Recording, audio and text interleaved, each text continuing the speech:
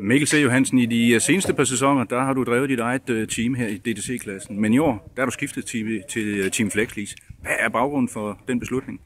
En baggrund for den beslutning, det var jo, John han ringede til mig sidste efterår, og så øh, sagde han, at øh, han var lidt, jeg vil ikke sige træt, jeg så kiggede på vores cirkus, vi andre lavede med, med min eget team, hvor, øh, hvor vi havde jo ikke 100% styr på det, men øh, der, der tænkte jeg, det, det, det, det lå faktisk, det faldt på et tært sted, øh, fordi jeg har selv nogle tanker om, at øh, det der med at have sit eget team, det, det er lidt større mål for end man øh, egentlig lige regner med, og det er også bare, der, der er rigtig meget, der er jo pres på, og man har mange ting op i hovedet hele tiden, så og det kommer også det til udtryk par gange sidste år, at øh, der er lige nogle situationer, hvor man måske mangler noget koncentration og ikke lige kan læse situationen, eller hvad, hvad der foregår på banen, og, og så går det okay. Og så øh, var det, at John havde ment, at vi kan jo godt vinde sammen igen, øh, ligesom vi har gjort det sidste år. Og øh, der tænkte jeg, hvis vi kan det, så, så er det vi gør.